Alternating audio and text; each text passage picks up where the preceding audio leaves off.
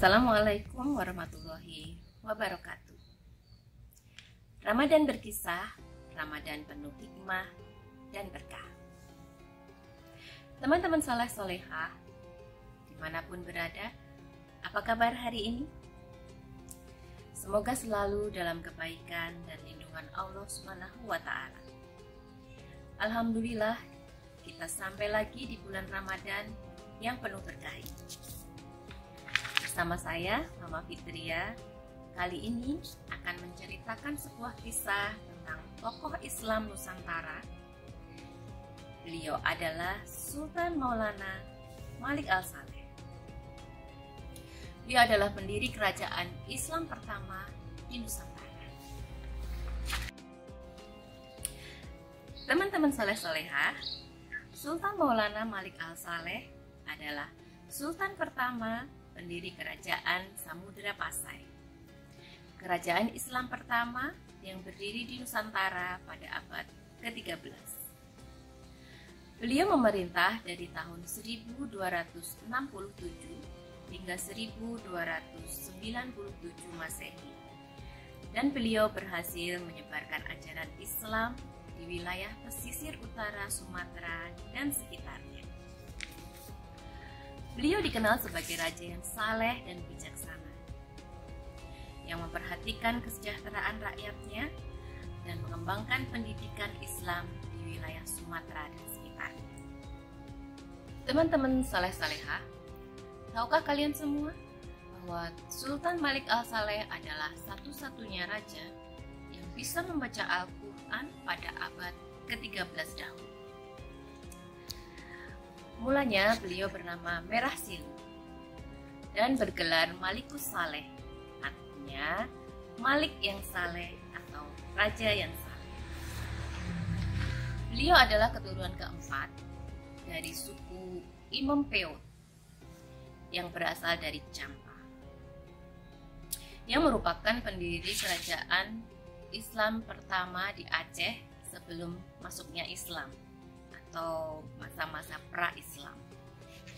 Pada tahun 1345 Masehi, seorang musafir Islam terkenal yang berasal dari Maroko bernama Ibnu Battuta.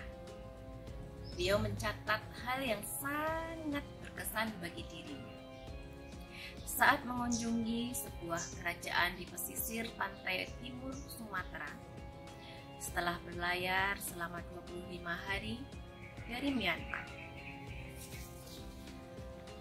Ibnu Battuta mendarat di sebuah tempat yang sangat subur, perdagangan daerah itu sangat maju dan ditandai dengan penggunaan mata uang emas. Beliau sangat takjub karena ketika turun dia mendapati sebuah kota yang sangat besar yang indah dan dikelilingi dengan dinding-dinding dan menara kayu. Kota perdagangan di pesisir itu adalah ibu kota kerajaan Samudra Pasai. Samudra Pasai bukan hanya tercatat sebagai kerajaan yang sangat berpengaruh dalam pengembangan Islam di Nusantara. Setelah dipimpin oleh Sultan Malik Al-Saleh yang wafat pada tahun 1297 Masehi, kemudian pemerintahan dilanjutkan oleh Sultan Malik Dahir. Samudra Pasai berkembang menjadi pusat perdagangan internasional. Pelabuhannya ramai dengan pedagang-pedagang dari Asia, Afrika, Cina, dan bahkan dari Eropa. Menurut Ibnu Battuta, Samudra Pasai merupakan pelabuhan yang sangat penting. Dan kerajaan Samudra Pasai telah disusun dengan arsitektur yang sangat indah berdasarkan pola budaya Nusantara dan budaya Islam. Demikian cerita singkat hari ini tentang Sultan Maulana Malik Al-Saleh. Untuk mengenang dan menghargai beliau, mari kita terus hidupkan semangat belajar tentang agama Islam dan memajukan negara kita. Nama Sultan Maulana Malik Al-Saleh diabadikan dalam beberapa nama tempat atau institusi penting di Aceh.